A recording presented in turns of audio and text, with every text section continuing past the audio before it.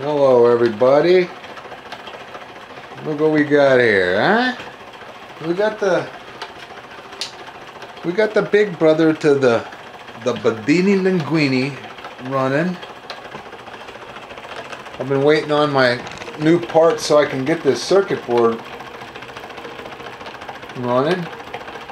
It's all good.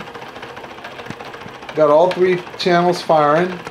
It's got one neo uh, magnet per rotor uh, per driver rotor.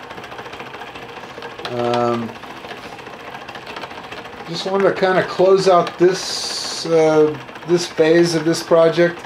I think it's done everything I wanted it to do, other than it doesn't have the power to you know to really pull a lot of magnets inside that tube. But it does it does work. Um, you know, if it, if it was my you know 40 hour a day job, you know, um, I mean a week job, then I'd probably be able to figure this thing out and get this thing to working real good, you know, but I just, I really don't put enough time into it. It's kind of hard to stay focused on it because I have so many other stuff I want to do. I don't know. So anyway, here's the,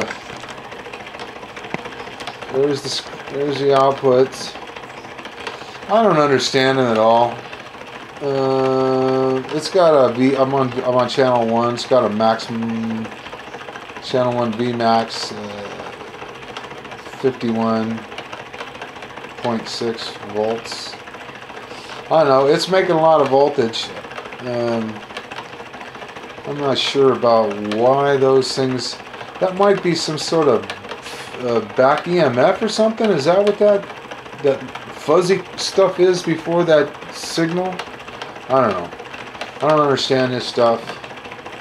Maybe if you, if anybody understands, you guys can just, you know, maybe drop me a message or whatever. Well, that's it. I still got some learning to do on this oscilloscope for sure. But that's it.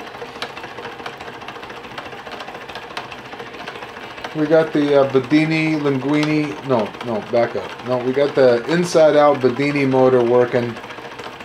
It's all good.